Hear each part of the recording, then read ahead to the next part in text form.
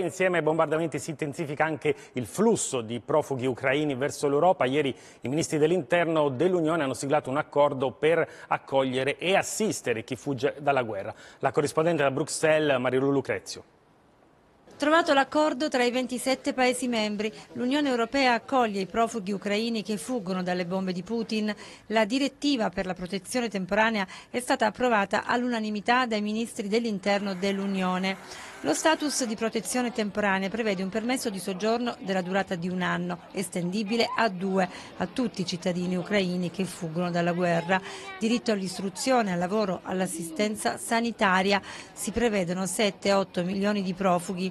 È stato un consiglio affari interni un po' complicato perché c'era il freno di alcuni paesi, tra cui Austria, Polonia, Slovacchia e Ungheria, contrari all'applicazione della direttiva per chi non è cittadino ucraino. Verrà eh, consentito la protezione temporanea agli ucraini e anche ai soggetti non ucraini che, che stanno, risiedono in quel territorio con la possibilità per questi ultimi di avere anche un altro tipo di protezione, quello stabilito a livello nazionale purché in linea con le norme di carattere generale europee.